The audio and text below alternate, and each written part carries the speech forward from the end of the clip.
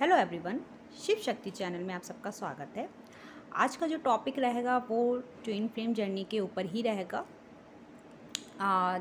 Twin flame journey में हमें रोना क्यों आता है, इसके ऊपर ये वीडियो रहेगा। देखिए, आप ट्विन फ्लेम जर्नी में आते हैं, आपको एक कंफर्मेशन मिलता है कि आप ट्विन फ्लेम जर्नी में आप बहुत ज़्यादा खुश हो जाते हैं, सामने वाला पर्सन आपके ही सोल का हाफ़ पार्ट होता है, ये भी जानकर आपको बहुत खुशी मिलती है, ठीक है? ये तब बहुत अच्छा लगता है जब आप शुरू शुरू में इस जर्नी में आते हैं। आपको शुरू में जब पता चलता है कि यस, आप ट्विन फ्लेम जर्नी में हो। बट जैसे जैसे आप इस जर्नी में आगे बढ़ते जाते हो, आपका आपका ट्रॉमा आपके इश्यूज़ आपके ब्लॉकेजेस सरफेस पर आने लगते हैं, तब आपको जाकर पता चलता है कि ट्विन फ्लेम जर्नी में बहुत ही ज़्यादा पेन है। ट्विन फ्लेम जर्नी को कंप्लीट करना बहुत ही ज़्यादा मुश्किल है राइट बट देखिए, ऐसा कुछ भी नहीं होता। ट्विन फ्लेम जर्नी जो है, हमको प्योर बनाने आती है। हमको स्पिरिचुअल बनाने आती है। क्यों आती है? क्योंकि हम सोल कांटेक्ट में कहीं ना कहीं ये सोल कांटेक्ट करके आते हैं। हमारी सोल जो है वो ये कांटेक्ट करके आती है कि हम थ्री डी वर्ल्ड में जाकर हमको ये ये अपना पर्पस पूरा करना है। ठीक है? आपका पर्पस कुछ भी हो सकता है इस अर्थ पर आने का। ठीक है? आपको पता चलता है कि आपका पर्पस ये है और आप उस पर्पस को पूरा करते ही करते हो। आपसे डिवाइन वो करा ही लेते हैं। ठीक है? तो बात यहाँ पर ये आ रही है कि ट्विन फ्लेम जर्नी में आने के बाद हमें रोना क्यों आता है? ट्विन फ्लेम जर्नी में आते ही आपको जैसे ही न्यू मून या फुल मून आया या कोई पोर्टल ओपन हुआ, आपको एकदम से रोना आ गया विदाउट एनी रीज़न ठीक है? अगर कोई रीज़न नहीं है, ठीक है, आप पास्ट को लेकर परेशान नहीं हो, अपने प्रेजेंट को लेकर परेशान नहीं हो, अपने फ्यूचर को भी लेकर परेशान नहीं हो बट अचानक से सडनली आपको एकदम से रोना आ जाता है, आप बहुत ज़्यादा घबराने लगते हो, आपको बहुत ही ज़्यादा एकदम ऐसा लगता है, एकदम कि पता नहीं क्या हो गया है, कोई रीज़न ही नहीं है रोने का। तो वहाँ पे आपकी इमोशनल पर्जिंग होती है, ठीक है? आपके अंदर की जो ब्लॉकेजेस है, वो आंसुओं के द्वारा बाहर आता है, ठीक है? जो निगेटिविटी है, वो आपके टीयर्स के थ्रू आउट होती है, ठीक है?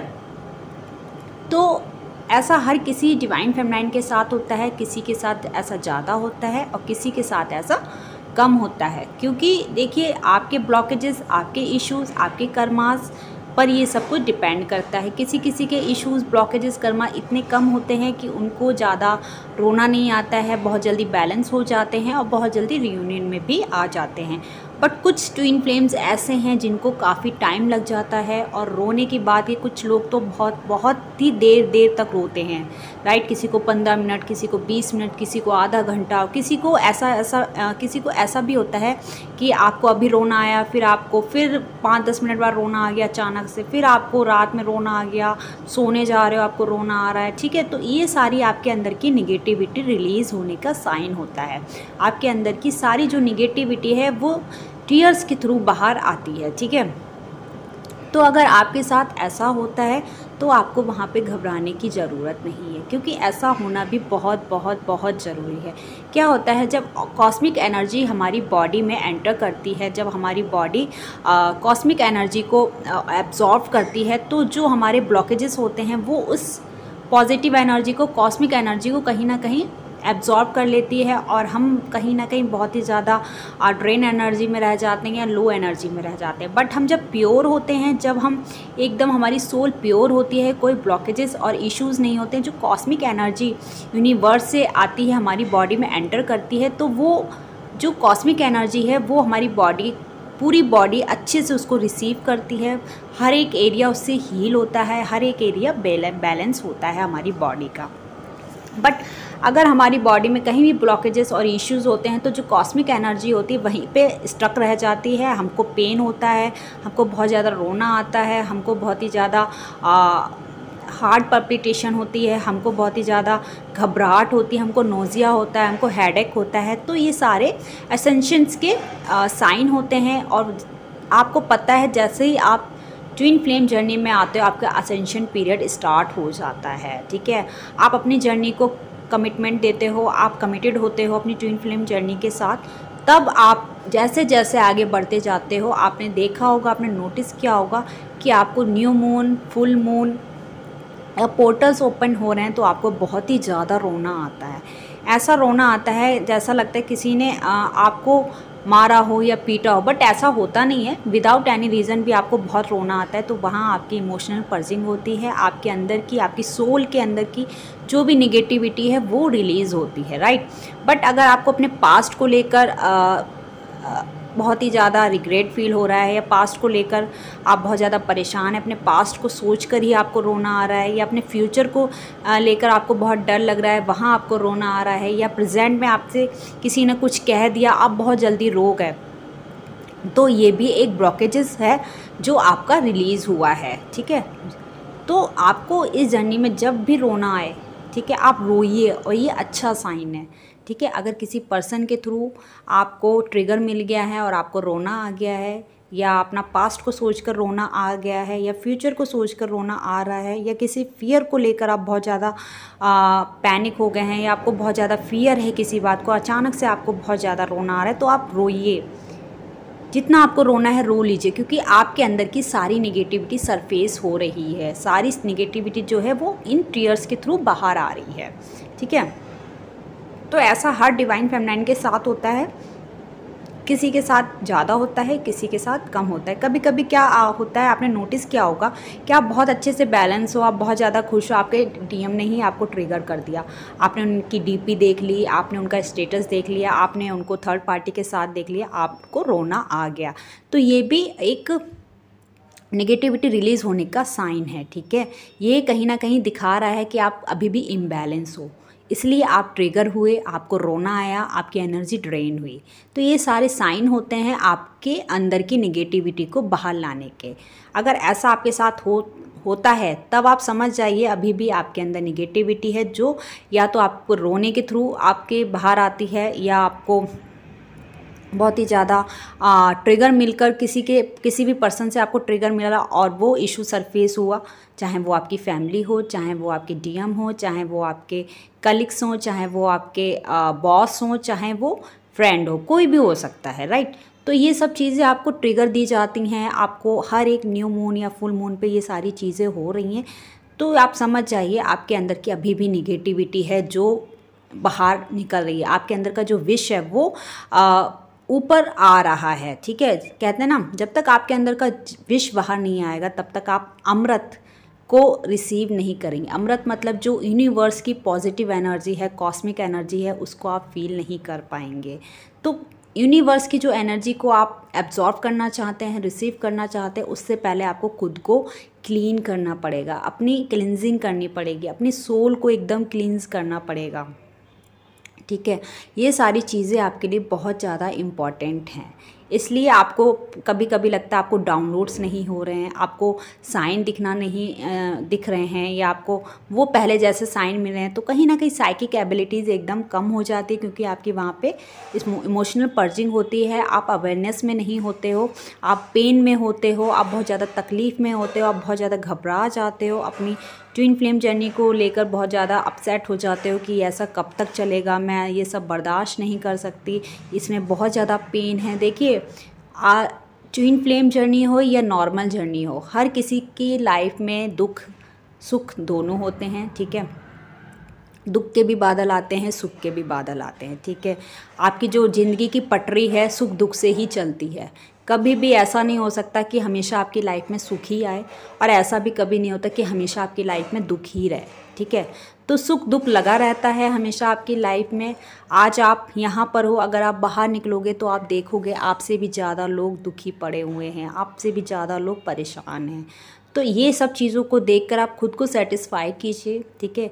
अपने आप को एक्सेप्टेंस की एनर्जी में लेकर आइए। और जितना भी आपको अगर रोना आए आप रोइए उसको रोकिए मत ठीक है कि अरे मैं रो रही हूँ तो यही मैं गलत कर रही हूँ मैं अपने इमोशंस को आ, लोगों के सामने लाकर बहुत बड़ी गलती कर रही हूँ। तो आप सामने नहीं आप बाथरूम में जाकर रो लीजिए ठीक है? कमरे में आराम से बंद करके खूब रो लीजिए चीखना चिल्लाना आ रहा है वो भी कर लीजिए। क्या होगा इससे आपके अंदर की जो भी निगेटिविटी है वो सरफेस पर आकर रिलीज़ हो जाएगी ठीक है? ऐसा होता ही होता है हर डिवाइन फेमनाइन के साथ। तो अगर आपके साथ ये सब चीज़ें होंगी तभी आप कहीं ना कहीं एक प्योर सोल बन पाओगे, एक बेस्ट वर्जन बन पाओगे। तो हर किसी डिवाइन फेमनाइन के साथ ये प्रोसेस होता है, रोना आता है, घबराहट होती है, डर लगता है, बहुत ही ज़्यादा बेचैनी होती है और ये तब ज़्यादा होता है जब न्यू मून या फुल मून आने को होता है या आपका सूर्य ग्रहण या चंद्र ग्रहण आता है या पोर्टल्स ओपन होते हैं, तब ये ज़्यादा देखने को मिलता है। बट जो डिवाइन फेमनाइन बैलेंस हो चुकी होती हैं अपनी जर्नी में, चाहे न्यू मून आए या फुल मून आए, सूर्य ग्रहण, चंद्र ग्रहण या आपका पोर्टल तो वहाँ पर ऐसी डिवाइन फेमिनिन बहुत ही ज़्यादा हाई वाइब्रेशन में रहती हैं, बहुत ही ज़्यादा कॉस्मिक एनर्जी को रिसीव करती हैं। जो लाइट कोड आते हैं, उनको रिसीव करती है, ठीक है? और ज़्यादा साइकिक एबिलिटीज़ बढ़ने लगती है, आपकी इंट्यूशन पावर बढ़ने लगती है, आपकी मैनिफेस्टेशन पावर बढ़ने लगती है, ठीक है? आप अपनी लाइफ में हर एक चीज़ को मैनिफेस्ट करने लगते हो। कब करते हो? जब आपके अंदर का सारा विश निकल जाता है, आपके अंदर की सारी निगेटिविटी रिलीज़ हो जाती है, ठीक है? तो ऐसा हो रहा है तो आपको डरना नहीं है। आपको ये सोच रही हैं कि भाई ट्विन फ्लेम जर्नी बहुत ही ज़्यादा पेनफुल है और मैं इसको छोड़ना चाहती हूँ। आप ना ही अपनी मर्ज़ी से ट्विन फ्लेम जर्नी में आए हो और ना ही आप अपनी मर्ज़ी से ट्विन फ्लेम जर्नी छोड़ सकते हो। क्योंकि देखिए, हर एक चीज़ का डिवाइन टाइमिंग होता है। आपकी अवेकनिंग चाहे पच्चीस ईयर्स में हुई हो, चाहे आपकी अवेकनिंग तीस साल बाद हुई हो, चाहे चालीस साल बाद हुई हो, चाहे पचास साल बाद हुई हो, ठीक है? आपको नहीं पता था कि आपकी स्पिरिचुअल अवेकनिंग होगी, आपका कोई पर्सन है जो ट्विन फ्लेम है, आप ट्विन फ्लेम जर्नी में हो बट एक डिवाइन टाइमिंग आया जहाँ आपको कंफर्मेशन मिला, आपको पता चला कि आप ट्विन फ्लेम जर्नी में हो, ठीक है? आप शुरू में बहुत खुश हुए, आपको बहुत अच्छा फील हुआ बट जैसे जैसे डिवाइन ने आपको ट्रिगर देना स्टार्ट किए, आपको पेन देना स्टार्ट किया, आप पीछे हटने लगे, आप डरने लगे। बट ऐसा डिवाइन फेमनाइन होती नहीं डिवाइन फेमनाइन बहुत ही ज़्यादा स्ट्रांग होती है, ठीक है? जो पेन डिवाइन फेमनाइन को मिलते हैं, उसको झेलना या झेल पाना बहुत ही ज़्यादा मुश्किल होता है। ठीक है? और डिवाइन आपको दर्द दे रहा है पेन दे रहा है, इसीलिए दे रहा है क्योंकि आप बहुत ही ज़्यादा स्ट्रॉन्ग हो, बहुत ही ज़्यादा पावरफुल हो। आपकी सोल बहुत पावरफुल है। आप एक हीलर हो, ठीक है? पर ऐसे कब आप बनोगे? जब आप बहुत ही ज़्यादा इनर वर्क करोगे, खुद को बैलेंस करोगे, खुद को हील करोगे। आपको ट्रिगर मिला, आप डर गए। डरना नहीं है। वो चीज़ सरफेस पर आ रही है और आपको डर लग रहा है। उसको रिलीज़ कर दीजिए। आपको रोना आ गया बिना मतलब कि आप डर गए। डरना नहीं है। रोना आ रहा है, रोइए, जी भर के रोइए। क्योंकि ये आपके अंदर की सारी निगेटिविटी रिलीज़ होने का साइन होता है। ठीक है?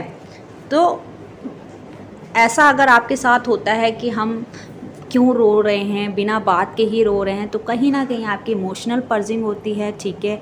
आपका जो ब्लॉकेजेस हैं बॉडी के अंदर, जो इश्यूज़ हैं, वो सरफेस पर आकर रिलीज़ हो रहे हैं, ठीक है? तो इसीलिए हमको इस जर्नी में रोना आता है बार बार हम इतना ज़्यादा रोते हैं, कभी विदाउट एनी रीज़न रोते हैं कभी कभी रीज़न होता है रोने के पीछे कि हाँ मेरी, मैं इस वजह से रो रही हूँ। तो आपको वहाँ पे पता होता है कि आपके अंदर ये इशू है, आप उसको हील कर लेते हो राइट और अगर आप नहीं कर पाते हो तो डिवाइन अपने तरीके से उसको हील करा ही देता आप गाइडेंस मांगते हो या न्यू मून या फुल मून आता है, आपको साइन देता है डिवाइन आप उसको डिकोड करते हो या उसको पिक कर लेते हो। आप समझ जाते हो कि आपके अंदर ये ये ब्लॉकेजेस हैं, आपके अंदर के ये ये इशूज़ हैं जिनको आपको हील करना है राइट तो अब आप में से बहुत सी डिवाइन फेमलाइन होंगी जिनको ये पता चल गया होगा कि हमें रोना क्यों आता है ट्विन फ्लेम जर्नी में, रोने के पीछे का रीज़न क्या है, ये सारी बातें, ठीक है? तो आज के लिए बस इतना ही। नेक्स्ट वीडियो में मैं फिर मिलूँगी। तब तक लिए अपना ध्यान रखिए, खुश रहिए, स्वस्थ रहिए।